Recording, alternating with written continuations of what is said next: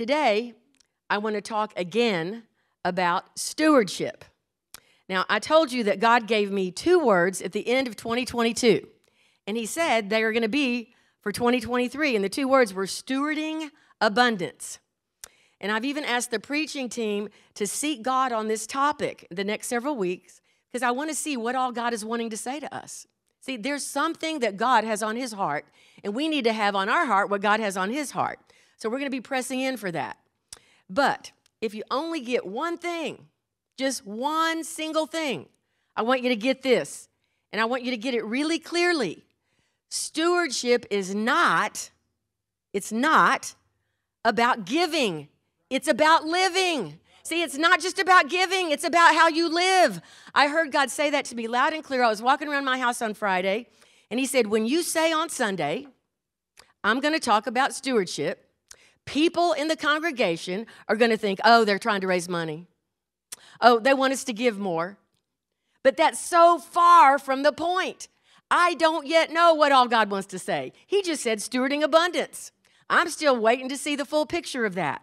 But the miserly, poverty mentality, tight fisted, lack minded, semi religious version of stewardship is oh, they want me to give money. But see, stewardship is not just about that at all. It's really about a way of thinking. It's a way of thinking.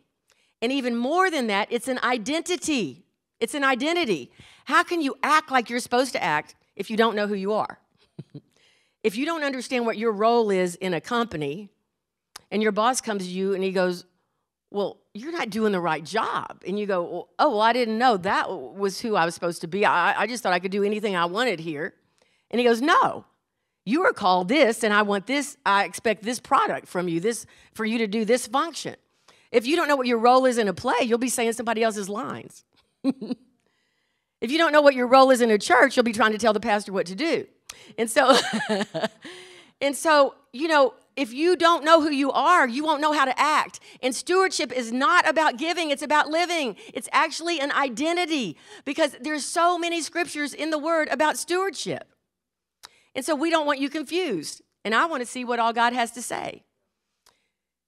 Success, we've said many times, is knowing the will of God for your life and doing it fully. Now, the definition of steward in the Bible lends itself to the idea of an overseer or a manager over someone else's matters. The Bible has many mentions of the word steward. Uh, the steward basically works for the owner in the owner's absence. There's hundreds of scripture references that allude to this principle. Every king in the Bible was a steward. The Hebrew kings didn't rule in their own right or for their own designs or desires. They didn't even rule just for the people that they served, that had chosen them. But they really were acting equal parts as servant to and representative of Jehovah, the true king of Israel. Miriam, like John preached last week, unwittingly was stewarding Moses when she found him in the basket and raised him for God without even realizing it. She was stewarding for God. Then Moses himself became a steward for Pharaoh. But the number one hindrance to being a faithful and good steward as Christians today is not recognizing one simple but profound fact. One profound fact. You've got it. This is the foundation. Everything belongs to God everything belongs to God. Now we go, right, yes, we give lip service to that, but do we act like that? Everything belongs to God. Psalm 24 1. The earth is the Lord's and all its fullness, the world and those who dwell therein. See, and you'll go, well, the 10% belongs to God. Now, I don't even give the 10%, some people might say, but I know it belongs to God, but I'm, I, you know, I, you know, eating out has gotten expensive. And if I, if I give that tithe money, I, I can't eat out as often. If I give that tithe money, I can't buy that new outfit that I wanted. If I give that tithe money, I can't buy the expensive car. I got to buy the more moderate car. And so some people, they, they say everything belongs to God, but they don't even give them the 10%. And so you need to start there. But let me be clear not just the 10% belongs to God, the whole 100 does. And so I know people who tithe the 10% and their finances are still a mess because they don't make good decisions with the other 90. And they don't, act, they don't have God's wisdom on how to spend the rest. And so I remember years ago, decades ago, when Easy was continually rescuing some 19 or 20 year old uh, when, when we were first having Generation Jesus, because uh, we even got a car donated to, to the ministry, and one of our young men needed a car. So we go, well, let's give him the Suburban. So we had the Suburban, but we get a call from University of Houston across town. Easy does, and it, Pastor Easy, my, my car is not running. I don't know what's going on. I just won't even, it just, something's wrong. And Easy goes, Have you checked the oil lately, son? What? The oil. Where is it? And Easy was continually amazed and astonished that 19 and 20 and 21 year old boys didn't know where the oil was, had never even thought to check it. And so, but they were religious in their tithing. I mean, they would skip lunch so they could tithe, but they didn't know how to take care of anything they had. And so they weren't really good stewards, even though they were tithers. But you got to start somewhere, and so start at tithing. But there's a lot more to it. It's not just about giving, it's about living. And so you can have your finances in a mess because of how poorly you handle the 90. So you're a steward over your money, you're a steward over what you do and don't buy. Even when we can afford it, sometimes I'll go, God, do you want me to buy this? Am, am I supposed to have this? Is this going to really be worth it? Is this going to bring me joy? Is this going to last for a long time? Or is this just going to be a pain in the neck and I'm going to regret it? See, there was a time Easy and I were getting ready to buy a car and we kept trying. We put a down payment on this car and we go back and they sold it to someone else. We're like, what's going on? And we found out later there was another plan entirely that God had for us concerning a car. So, see, sometimes we need to seek God even on things we can pay for because we are to be stewards and we need to even submit to Him how we handle the 90. And so, now, I know very, if, if you got this word ever in your life, you can raise your hand and you can come up and stand with me actually. But I got a word from Ed Traut in 2007. People were there. And the word was, I was being too economical. Very few people can claim that, okay? I was being too economical, God said. And I was sacrificing too much and thinking that I had to, uh, to pinch pennies to pay for everything, and God wasn't requiring that of me and that I needed to feel free to spend more of our hard earned money and not just save it. I was like, wow. But you know, old habits are hard to break. and so, you know, we moved into a new house, and Alan and John uh, convinced me that some of this stuff really needed to be replaced. So I'm like, okay, because I was willing to just live with the old stove and the, the old refrigerator and the old everything. And we replaced some things. I just felt like I was being super extravagant. But you know, seven years later, when because of someone's deception, we found out that they had stolen our life savings, like hundreds of thousands of dollars. I wish I'd spent more of that money. I wish I'd listened to that word. It was gone. I could have, I could, we could have gone on vacation. We could have done a lot more stuff. So what would we do that year? I go, with what little we've got, let's go on a vacation. Finally, I'm like, let's spend some of it. So see, some people spend too much some people spend too little, and God sometimes is right in the middle. And if you will seek Him, He will really try to get you in the place where you will have success for your life and you can enjoy life. See, He's not a miser. He doesn't want you to just scrimp and save and never have anything to show for it. But He's also not wanting you to blow your money. There was a time when I saved and saved and saved. It was the early days of our marriage. Easy was still in debt from owning the hockey team and the tennis team and paying all the payroll taxes for these uh, expensive athletes that had million dollar salaries. And um, we were saving and saving, and I wanted to buy a little breakfast room set. But a missionary came to our church and took up an offering, and God clearly said, Give him the breakfast room money. Give him the breakfast room money. See, God will do things that you don't expect. He will do things that are not the way you're thinking. But if you're a steward, it's not about the way you think, it's about what He is saying. Now, how do you steward your possessions? How do you steward your home or your car? Do you do the required maintenance? If you don't, you'll end up with a huge repair bill. And then you'll go, God, help me out of this mess. And God goes, Well, there's a way to steward things, there's a way to take care of things that makes more sense. And then on the other hand, a minister one time told me about a man in his congregation where, man, he was a giver and God started blessing him and blessing him and he loved God and he was sowing and and, and then God kept blessing him and with every new blessing he'd buy something. And so first he bought a little beach house and his family enjoyed that beach house. And then soon he bought a boat in another area and they used it on the lake. And then he started bought golf clubs and took golf lessons. And, and then he, he had a timeshare somewhere else. And pretty soon he couldn't even come to church anymore because he was so busy with all the things that God blessed him with. And his relationship with God began to suffer. Now, I would like one of those. And maybe you would like one of those. But see, don't let your things get in the way of your relationship with God. They're not to be a detraction or a distraction. The, God makes one rich but adds no sorrow with it. I say it's pretty sorry when God gives you something and then you're not even around Him anymore. See, something's wrong with that. Something's wrong with that equation. Now, God also wants to look out for you and the things that you take care of for Him. Back in the 90s, we had, it's, it's hard to explain. If you've never seen it, I really should have a picture up there. It's a, it sounds dinky when I say it, but if you saw it, you would be amazed. But it was a portable soundstage, we'll call it that. And we lovingly called it the GJ trailer. And people thought we had a spaceship going down the freeway when we were hauling that thing white with our Generation Jesus logo behind our white Suburban. And when you'd get to any location, you could unfold it and it became a 16 foot by 16 foot. What is this, Alan? About are we are we 16 this way? Yeah, we're 16 this way. So it was it was this this big and then a square that big, 16 by 16. The wiring for all the instruments and, and all the power was wired underneath. We had a generator to power it. We had huge speakers up on trusses. We had lights, and so you could put a band and preachers up there and have a service anywhere. In a park, we did it at the beach. You could do it in a parking lot. You know, we we we took Jesus to the streets. And so we used this GJ trailer. Easy raised the money for it from a lot of his friends, and it was his brainchild. He had to get people to, he goes, No, this is how I see it. This is how I see it. And he saw it in his head, and he had people draw it.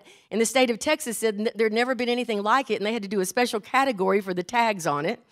And um, but after one of our stadium events, we decided we weren't going to do outreaches in the same way anymore. You know, we weren't going to do that thing where we had to make the rain go because we did that often so that rain wouldn't get on us. We had a canopy. But um, we decided it was time for us to sell the GJ trailer. We were expanding our sanctuary that we were in at the time. We were adding on to the children's room. We were sort of doubling our space that we had. And we needed money for the, the heating and the air conditioning on that new side. We needed money for the renovation. And um, we were going to sell the GJ trailer and use that money for the church.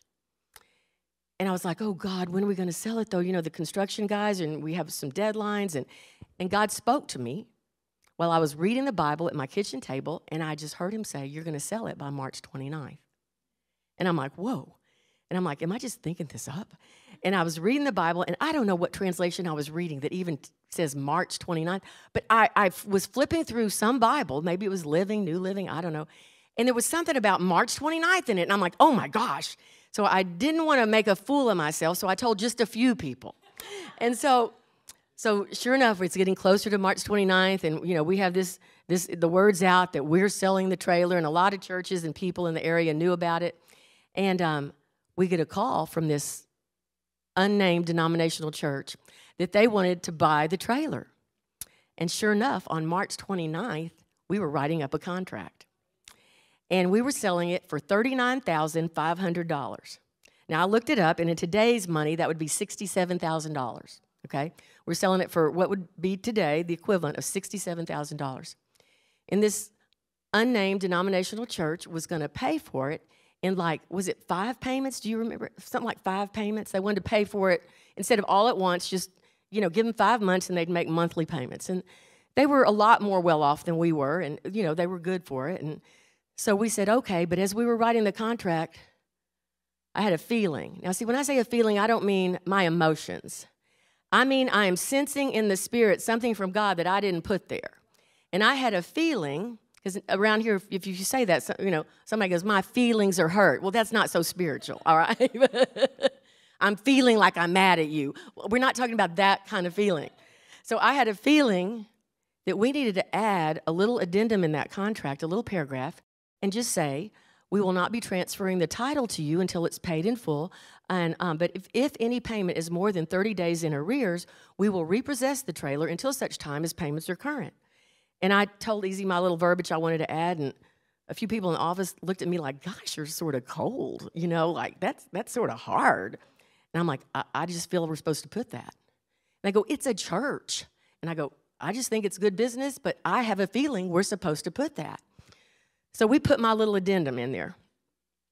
They signed the contract, we signed the contract, we delivered the trailer, they were using it in their men's outreach. And month one went fine, and month two went fine, and month three went fine until month four when they didn't pay. And then 30 days went by from month four, and they not only didn't pay, they wouldn't take my phone calls.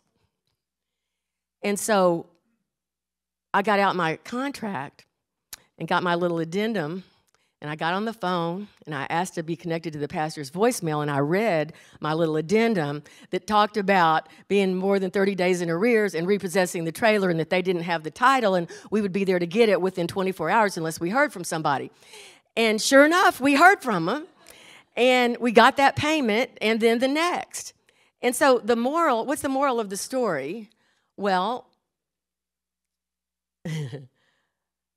God cares about what you steward for him. See, he didn't want us, our value to be diminished on our hard earned work and donations that we had procured from people who trusted us. He didn't want that to be diminished or lost. Another moral is not all ministries have integrity. and maybe that's why some people don't give and don't tithe. But see, just because somebody stole $650,000 from us, God told us don't let it change you. Just because somebody was dishonest with you, don't let it change you.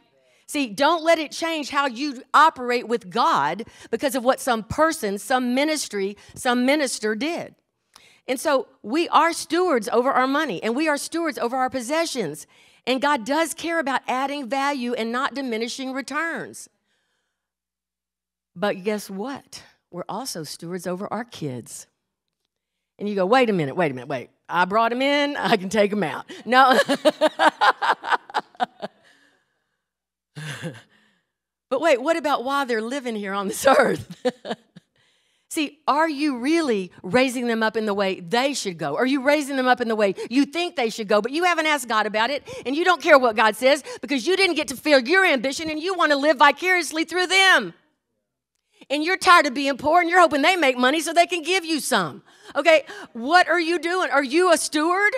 Are you trying to all of a sudden be an owner? See, Easy told Paul Michael when he was 19, son, you'd make an awesome pilot. Well, and Paul Michael decided he wanted to be a professional party giver. He wanted to be a professional surfer. He went through 10 years of craziness, and at 29, he goes, Can y'all give me some money? I want to go to pilot school. but I mean, you know, we had to let him find his way. And so raise your child up in the way they should go, not the way you think they should go, not the way you hope they should go. What is God saying? Have you taken time to listen to Him? So we are stewards over our kids, we don't own them. And so we need to allow them to live the life God calls them to live, not hold them captive to our plans and our opinions. We're stewards over our employees. We don't own them. You know, I've treated different employees differently based on their particular emotional makeup, their particular bent and gifting. Because some people you have to be more gentle with. Some people you can be a little more rough with. Some people you can go, "Hey, Alicia, stop it." Okay? But some but someone else you have to go, maybe we ought to do it this way because you'll you'll bruise this one to say it that way. See, you're a steward. How would God want you to say it? There have been people I fussed at, and I said, if you're working for us, don't you dare talk to people like that, because we wouldn't talk to people like that. So if you're stewarding things for us, you need to do it with our heart. You need to do it with the way we would treat people, because we don't want, don't want to project that. Now, we're also stewards over our talents and our gifts. 1 Peter 4:10. As each has received a gift, use it to serve others as good stewards of God's manifold grace. And you go, well, I know God's given me a gift to do this, but you know, uh, it takes a lot of time and I'd, I'd rather go fishing. And, well, you know, it, wait, it just said, as each has received a gift, use it. Use it to serve others. It's not about you. God gave it to you so you could serve others. So that, and you need to be a good steward of His grace to do that. We need to be stewards over our time accountable for our time. You know, I told you uh, last time I preached, I said, you know, a mom with five kids, she doesn't you know, I'm, I have more time than she does. I decided with Easy, I don't have more time than she does. Okay, I, I think we're about equal. But the truth is, I've heard people tell me that they binge watch some sitcom for six hours, or they binge watch Netflix for seven hours. But if church goes 15 minutes over, they are so antsy and so gripey. And so, what is that about? You can sit there for seven hours and watch that, but church is 15 minutes over and you're nervous? Like, what? What? Now, if you think that's bad, let me just go ahead and go for it here. We are stewards over our health. Whoa.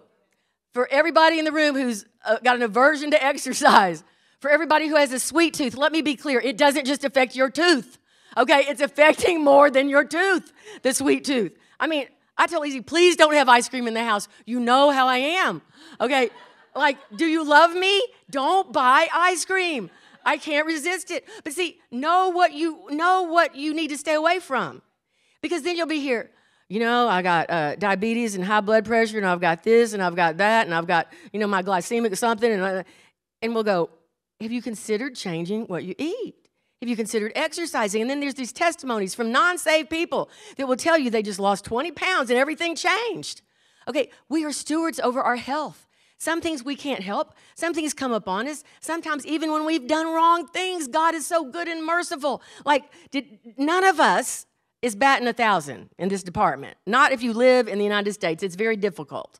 Okay, to eat perfectly right, you know, to, to exercise. Well, okay, Paul, do you want to raise your hand back there? Okay. I showed your picture to somebody. I said, he's on our worship team. He lifts weights. He goes, boy, look at those thighs. Okay, in the in the picture. All right, so But see, we are stewards over our health. And our body is a precious resource to God. It is the temple of the Holy Ghost. Our body is more important than this building to God. Our body is more important to, than the building. And so we need to steward it well and wisely. Divine health is better than divine healing any day because you don't have that in between time when you're waiting to get healed. See, divine health. You know, some people go, I don't even have a testimony of divine healing. No, you're walking in divine health. That's better. To understand stewardship properly, you have to have an understanding of authority. Your life is not your own. Your body is not your own. See, now we do this thing, we tend to commit things to God, but then we take them back. We take them back. Everyone in this room that's accepted Jesus, and if you haven't, we want to give you that opportunity. You pray this prayer and you say, Lord Jesus, come, take control of the throne of my life. I give you my heart, I give you my life. And we pray that prayer and we mean it at that moment. But then we walk on and then it starts to look like we meant, well, at least just take me to heaven when I die. Help me when I say I want it. And get me out of jams when I'm in a mess. But are we really giving him control? Or are we keeping it? Are we stewards or have we decided, oh no, we're owners now? We're, we're it. It's all about us. I'm in charge. See, the second year that Alicia and Dan worked here on staff, I think someone asked, What was it like working for Alan? Or, or maybe they were being smart aleck and said, Well, isn't Alan your boss? And Alicia said something like, Well, he's not exactly our boss, but he's more like our general manager. and when I heard that, I laughed and I laughed. I laughed so hard. I love some of Alicia's one liners. Because while she took orders from Alan in our absence, she knew he ultimately answered to someone else above him. Now, that was then. Now, when I call, I go, Alicia, can you do the? Well, Alan told me that I need to. And so, like, something shifted. Something shifted in the equation. The more I'm out of here, the more something shifted. Okay. And, but let me be clear when Alan first worked here, and we're talking decades ago, literally decades, no, uh huh, he's too young. Um, let me go back before he worked for us. He was in Arkansas, Hoxie, Arkansas. Is that right? Okay, he didn't want me to say Hoxie. Little Rock. We'll, we'll make it Little Rock. It's, well, evangelistically speaking, Little Rock, Arkansas. it's near there. sort of, maybe. He worked for a grocery store, and he was what, 19, 20 years old? And in that grocery store, he kept getting promotion after promotion after promotion. And finally, he was promoted at the young age of 20 to office manager, where he was counting $100,000 and he was in charge of the money. He was in charge of the cashiers. He was in charge. Like, that's a lot of responsibility for a 20 year old. That's unusual. I mean, people in their 40s, you're their boss. But, he evidently knew how to steward. And so then he moved here. And remember, he told you he's the quiet person. Like, we, we never even knew what his voice sounded like. Well, after, when he finally started to talk, we knew it sounded a lot like Elvis. Okay, but it has changed dramatically over the years. But um, I never heard him talk for like a year. But he worked at Sterling McCall Toyota and, you know, down on the freeway. And he started, there was somebody else needed a job. I remember it. Oh, I, I hadn't thought of this story. You know who I'm talking about. Somebody else needed a job, and they go, they, what were they paying? 750 an hour to start, y'all? Yeah, 750 an hour. And the other person goes, I'm not working for 750 an hour. I need me a job that's making real money. Well, they never got a job. like it, it, was years. Alan went to work for 750 an hour and then he got promoted and then he got promoted again. Then he got promoted again, then he got promoted again. And after a couple years, he was the office manager at Sterling McCall Toyota over the cashiers, over the billing, over people way older than he was, over a lot of the big money stuff. I mean, that's a big production over there, Sterling McCall Toyota. It's no little hole in the wall place. And so Alan was their office manager. So then he came to work for us. And I remember the first year I said, I will match your salary at Sterling McCall Toyota, but you're supposed to work here. And Dale Gentry has prophesied countless times over him. This is not the Allen commercial, but he said, uh, he said, this man is faithful. You can trust him. See, and a lot of times we had suffered disappointment by various people, but God kept saying, this man is faithful you can trust him. And see, what does 1 Corinthians 4 2 say about stewards? It says, Will they be found faithful? Will they be found faithful? So Easy and I recognized quickly that even though Alan was very young, he had this knack for doing things just in the way that we wanted them to be done at church, in a way we respected. He seemed to have our same core values. And see, that's really what God expects of us. He wants us to do things the way He wants it done, with His core values, with His characteristics. And so I called Alan last night and I said, Alan, were you just like us? Or, or how did that happen? You know, that you did all that stuff sort of. I mean, Alan has hardly ever gotten in trouble, all right? Over all these years, he's like a son to us. But I mean, I can hardly remember fussing at him about much. Two things. All right, but anyway. And I said, How did you do that? And he goes, Well, I'm very observant and I watched how y'all did things. I also listened to what you said and I wanted to serve. I watched, I observed, I listened, and I wanted to serve. You can't do that without having a relationship with the person that you're stewarding for. You, you, that doesn't work. See, there's a relational aspect, getting to know their ways, getting to know their heart, getting to know their characteristics, getting to know their preferences, getting to know what's important to them, getting to know what they don't want done, getting to know what they disapprove of. See, that's what we need to be with God. See, you cannot steward well if you don't take time to know Him, really know Him, and He's the one you're stewarding for. The children of Israel, the Bible says, knew God's acts, but Moses knew His ways. So it's not some robotic, oh, I got to get this right. Okay, does this look religious? Uh, um, is my behavior right? It's not that. See, I'm going to be in trouble. God thinks this is wrong. It's not that. It's not bondage to learn God's ways. It's a fruit and a byproduct of relationship and intimacy. It's, it comes out of a desire to love and serve Him, which is what we say we want to do. So, with Alan, decades ago, first, we asked him to do certain things. Then later, we saw that we could trust him, that he would do it right even when we weren't there. And then at one point, we said, Look, you have authority to do what you feel God is saying to you. You are not just coming alongside us stewarding this church, you are with us. You are stewarding with us, not just for us. Now, in the parable of the talents, the one who did as the master wanted was what? Given more. Matthew 25, 29. To he who has will more be given. He will have abundance. See, if you're faithful in little, the Bible principle is you'll be entrusted with much. There's my word stewarding abundance. Stewarding abundance. That's what God said when I woke up on December 18th, 2022, and He said, This is for next year.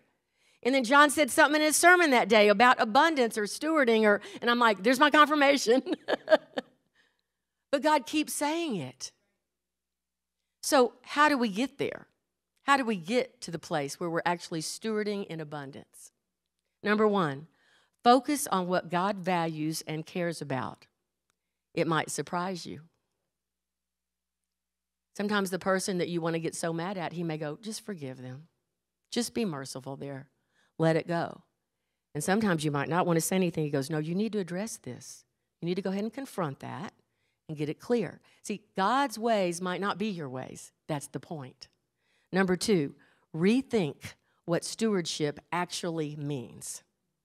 It's not a stewardship program when they're hoping everybody double ties so that they can pay off their, their, where they're in debt.